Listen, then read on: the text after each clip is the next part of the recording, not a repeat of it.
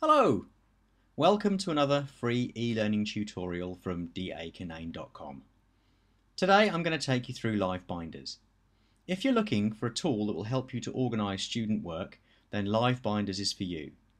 The premise of Live Binders is that digital content can be organised into binders. Each binder can be sorted by tabs and within each tab you can add content or further subdivide with subtabs. Finally, all related binders can be organised into shelves of related content, great for managing students. Binders can be private or open and can be shared openly or privately via a passkey, making it great for sharing e-portfolios. So let's get into it. You can see here that I've created a new binder by clicking on the Start a Blank Binder link on the left-hand menu list. It is in the new window where I set the initial information and permissions for my new binder. I can always change this later.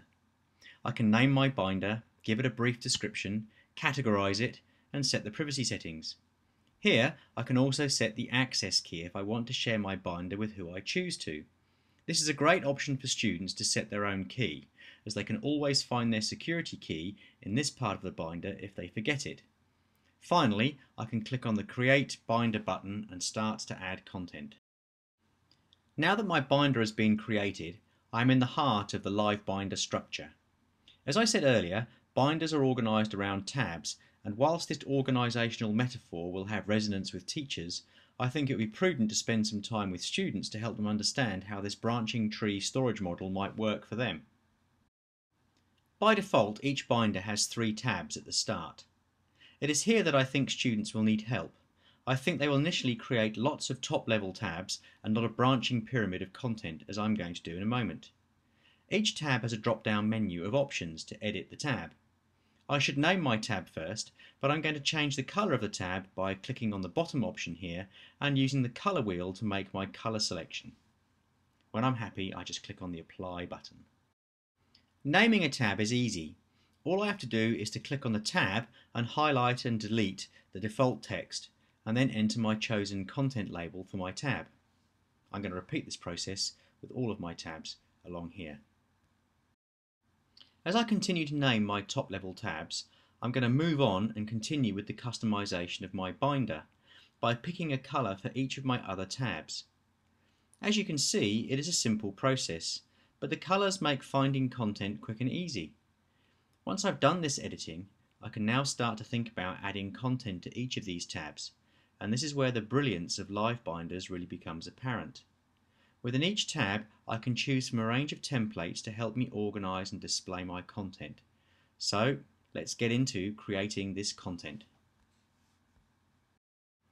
I'm going to start with my literacy tab here. On the top left of the toolbar here are all the tools I need to make new tabs, subtabs and add content. It is important to know that a single tab can only store a single item of added content. So the layout choice is really important as is the subsequent subtab structure, which is why understanding a branching tree structure is really important for students to know and understand. On this top level tab, I will choose the one column text option so that I can indicate what other content can be found in the other subtabs. The information here can act as a table of contents if it is a, student organising their work or if it is a resource I'm creating, this tab might contain a task or a series of instructions to help students work their way through the content I've created for them. With my instructions completed, I can now continue down my branching tree of content and add some subtabs. To create a subtab, all I have to do is to first make sure that I am in the tab that I want my subtab to be in. Then I click on the subtab button on the top left menu and then edit my tab as before by giving it a name and a colour as I see fit. I'm going to break down my top level literacy tab into three subsequent subtabs, poetry, spelling and writing. Obviously, depending on how granular I want to be with how I organise my content, I can continually add subsequent sub-levels to any of my tabs and subtabs. As I do this, Live Binders will display the array of differing levels within each tab only when I click on the top level tab to reveal what's within. So, if like me you're a big fan of Wikispaces but find logically organising the student content a perennial problem, live binders and Wikispaces might just be the perfect combination, as live binders can be embedded. More on that later. Enough now about tabs and subtabs. I hope you can see how useful they can be and how important it is for students to understand how they can help them to sort their stuff. Now on to adding different content. I have prepared several tabs of different content that I want to add to my poetry subtab. This time I'm going to add the media and text content layout option to show you how the media and text options handles different content depending on the source. First I want to add a Fotobabble to the media section of my layout. To do this, all I have to do is to copy the URL of the Fotobabble I want to add to my tab and paste it into the Enter URL dialog box at the top of the layout section here and then click on the Insert button. LiveBinders has now embedded my chosen Fotobabble into the media section of the page. Now, as a student I could add my reflections, goals, etc. into the text half of the page. But let's repeat this process with a YouTube video.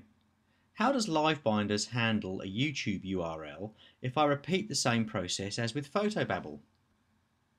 I have copied my YouTube URL and will overwrite my Fotobabble URL. I would expect the YouTube video to be handled in the same way, but it does not. It provides me with a link. I do not like this as links take browsers away from the content, and the purpose of the binder is to keep content and viewer in the same place at the same time. Clearly, the URL copy and paste option only works for some services. Returning to the YouTube page, I will now copy the embed code from the same YouTube video instead. When copied, I will return to the text part of the Live Binder tab, switch to the HTML view, which I get to from the yellow down arrow, and paste the embed code.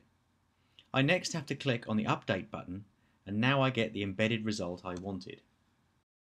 I hope you can see that there are several ways that content can be embedded in live binders, and it is important that students know these skills too. The key is for students not to bounce their viewers all over the internet. Their aim is to bring the internet to the binder and keep their viewers there too. Using this same embed technique and using a different layout option, it is possible to put large content items into tabs, such as Prezis. Here I have selected the single column text option and again we'll get the embed code from my Prezi and paste it into the HTML view of the text page. Did you know that in the text view, after I've pasted the embed code, that it is possible for me to alter the dimensions in the code to suit my own needs? You try it. Make the width and height of the embed code you paste 800 by 600 and see what happens when you save it. Once you know this trick, you can change the embed code dimensions to suit your own layout needs. Give it a go. Well, that's it for this tutorial. Thanks for watching. Don't forget to subscribe to my channel for more e-learning tutorials, and don't forget to let your colleagues know. These tutorials are for sharing, so please do. Until my next tutorial hits your feeds, keep practicing!